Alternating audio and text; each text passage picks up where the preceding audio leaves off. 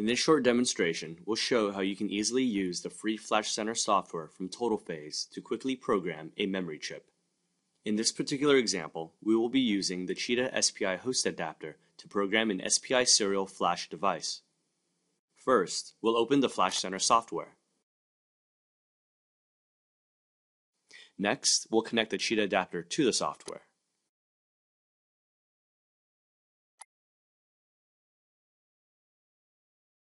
This button here allows you to turn the Cheetah adapter's target power off and on.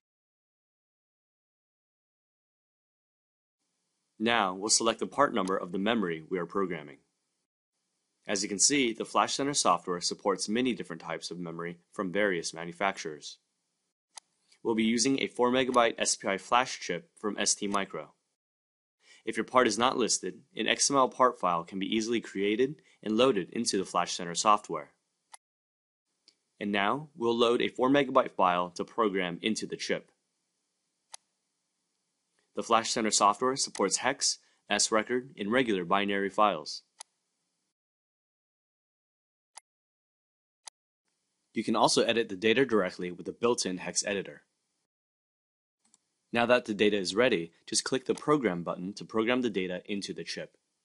The Flash Center software can be used not only with the Cheetah adapter, but with the Aardvark I2C SPI host adapter as well.